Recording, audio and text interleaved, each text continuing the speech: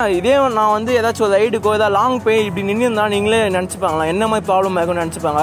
நான் யார் காண்டாக்ட் பண்ணுவேன் அந்த நேரத்தில்? நைட் டைமில் எங்கே நின்றுச்சு அந்த டைமில் நான் யார் கால் பண்ணுவேன் சொல்லுங்கள் எந்த ஏன்னா இந்த வண்டி பொறுத்தவரை நார்மல் மெக்கானிக்லாம் வந்து கையை வைக்க முடியாது.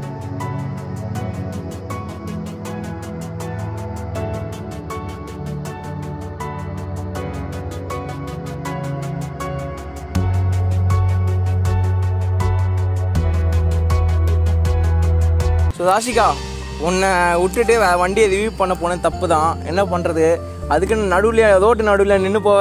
இதை வாங்கிட்டு நான் போடுற பாடலுக்கு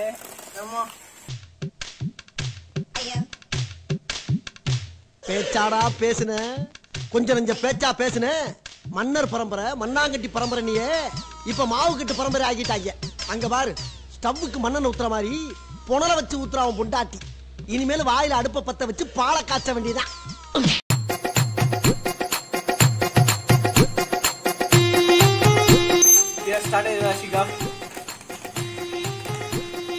ஃபஸ்ட்டு சோலி முடிஞ்சது போ. ஐயோ. ஃபைனலா ஃபைனலா ஒரே வாட்டி ட்ரை பண்ணிடலாம் ஓகேவா சொல்லுங்க ஸ்டாண்ட் அப் போட்டு லாஸ்ட் இயர் ஒரு கும்பிட்டுலாம்.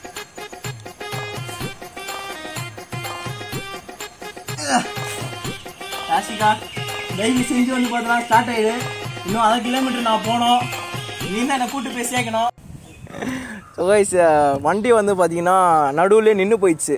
என்னடா இப்போ தான் வண்டி எடுத்து எடுத்து ஃபோர் மந்த்ஸ் தான் ஆகுது. உடனே நின்று போச்சுன்னு சொல்கிறீ அப்படின்னு கேட்பீங்க பட் ஆமாம் இப்போ வந்து மார்னிங் சிக்ஸ் ஓ கிளாக் வந்து பார்த்தீங்கன்னா ஈஸியாக போயிருந்தேன். ஒரு ஷூட்டுக்காக போயிருந்தேன்.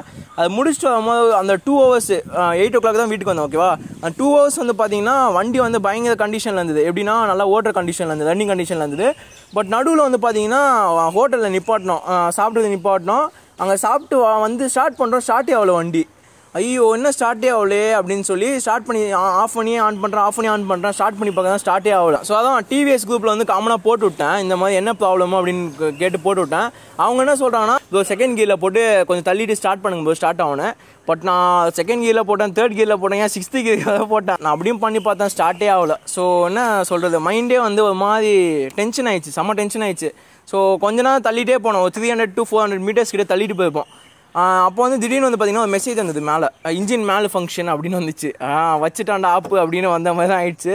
ஸோ அதான் பட் ஆனால் திரும்பி ஃபோன் பண்ணி கேட்கும் போது பிஎஸ் சிக்ஸ் வண்டியில் வந்து அதிகமாக இன்ஜின் மேலே ஃபங்க்ஷன் வந்தது இல்லை ப்ரோ அப்படின்னு சொன்னாங்க. பட் திடீர்னு வந்து பார்த்தீங்கன்னா ஏன் இப்படி காமிக்குது அப்படின்னு தெரில சரி நான் ஷோரூமில் கேட்டு என்னென்ன நெக்ஸ்ட்டு உங்ககிட்ட இன்ஃபார்ம் பண்ணுறேன் ஓகேவா ஸோ கைஸ் ஃபைனலாக வந்து பார்த்தீங்கன்னா எல்லாமே முடிஞ்சிச்சு. அண்ட் ஷோரூம் எடுத்துகிட்டு போயிட்டு ஒரு டூ டேஸில் வந்து பார்த்தீங்கன்னா பைக் வந்து திரும்பி டெலிவரி பண்ணிட்டாங்க. அண்ட் uh, என்ன ப்ராப்ளம்னு வந்து பார்த்தீங்கன்னா அந்த ஸ்டார்ட் பட்டன் இருக்குது பார்த்தீங்களா அதில் கேபிள் வந்து கொஞ்சம் லூஸாக இருந்தது.